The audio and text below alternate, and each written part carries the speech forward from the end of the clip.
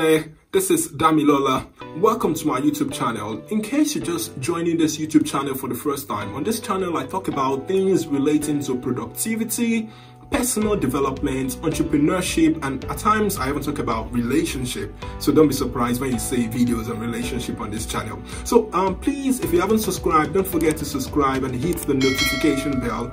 It gives me so much joy and so much pleasure whenever I see that you subscribe and as well as engage with lots of my videos. So today I wanted to talk about how to focus on one particular task. I understand that it's very hard for us to concentrate, especially in this age of social media, digitalization all over, like social media messages, text messages, it's just flying all around us. So it could be really hard for us to concentrate and concentrate fully on completing just one particular task. And before I go ahead to talk about how to concentrate and all of that, a lot of things we've um, seen or we've read from other personal development coaches. They tell us oh you have to multitask to achieve so many things. You can multitask to do so many things and achieve greater productivity results. But that's not true. Research and studies have proven that multitasking doesn't work. It doesn't work absolutely. And here is the reason why multitasking doesn't work. The first reason is the human brain is not designed to multitask. Yeah, that's the first reason that multitasking doesn't work. The human brain is designed to focus on one task at a time. And here is what happens when you multitask. When you multitask, you increase the cognitive load on your brain. And when you increase the cognitive load on your brain, what happens? The productivity level of your brain or the performance level of your brain drops. So there is a declining rate in the performance level of your brain when you focus, when you increase, when you try to do so many things at a time. And the second reason multitasking does not really work is because it increases your anxiety and stress level. When you try to do so many things at a time, this is what happens to you. The human brain begins to increase, begins to produce so many stress hormones. And remember that whenever you're stressed, you become tired and probably frustrated. So these are some of the reasons that multitasking doesn't work. But here is the big deal. How do we then concentrate on completing one thing at a time before moving to another? And that's exactly what I wanted to talk about today. So the first thing I advise or the first thing I suggest whenever you want to focus, you're trying to focus on completing one task is engage in moments of deep work. By deep work, I mean that you should try as much as possible to concentrate, create specific times where you concentrate on completing just one thing. Don't bring anything into it.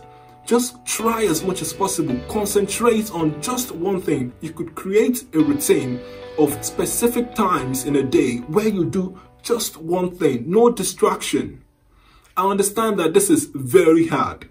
I remember two years ago or thereabouts, I read a book by Cal Newport. The title of the book is Deep Work. Cal Newport was trying to explain this principle of deep work. Deep work is a skill it is not something you can do in just one day. It is something you do over time. So let's say today you create specific time of 5 a.m. till 7 a.m. You say, this is exactly what I will be doing by this time. So between 5 a.m. and 7 a.m., you're not doing any other thing else. You're not replying messages, you're not replying um, calls. So the only thing you'll be doing between that time is just that particular thing. It's going to sap your brain, it's going to sap your energy. But the good news is when you concentrate on doing just that one particular thing within that particular time frame, you would achieve a higher level of productivity than doing so many things. So the second thing I would advise you to do if you're trying to focus on one thing is regulate your social media usage.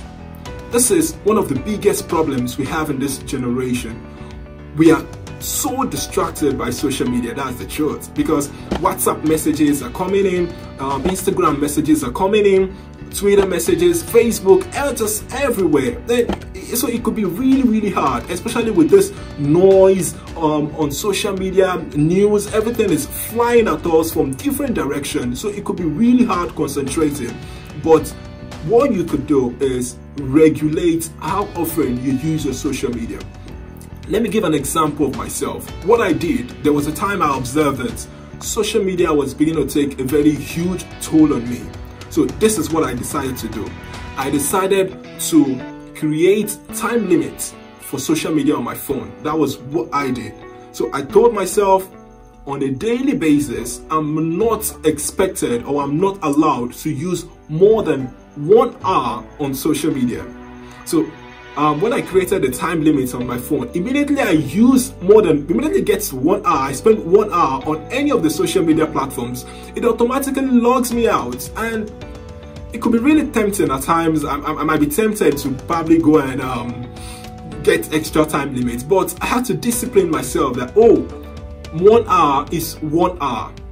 Because I, I, I discovered that the biggest source of my own distraction was social media. So I had it, I needed to create limits. Before I go ahead to talk about the third strategy of how to focus completely on just one task, I just wanted to remind you that in case you haven't subscribed to the channel, don't forget to do that. Um, it gives me so much joy to have you subscribe and please share your comments about how you've been able to concentrate, how uh, probably your own strategy uh, because your strategy may be different from mine.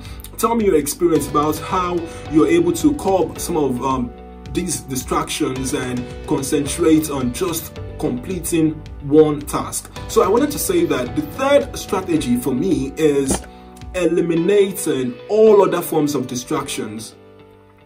Before I go ahead to eliminate all other forms of distraction, the first thing I do is I even identify what are my distractions. So maybe you haven't identified your own distraction. You should also do that. Try to identify, take a seat, relax, and ask yourself, what are the things really, really distracting me from executing some of the important things I need to do. So you have to ask yourself that question. Identify those things that really distract you. It could be, okay, let's say it could be your phone. Let's say it could be music. Let's say it could be your siblings. It could be your family. It could be anything. It could be your pet.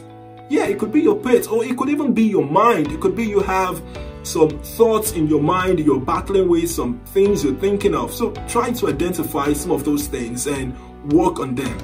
Especially when it's your moments of deep work, try as much as possible to concentrate on just that particular task you have at hand. And the last thing which I would say before calling it a quit for this video is always evaluate the progress you're making.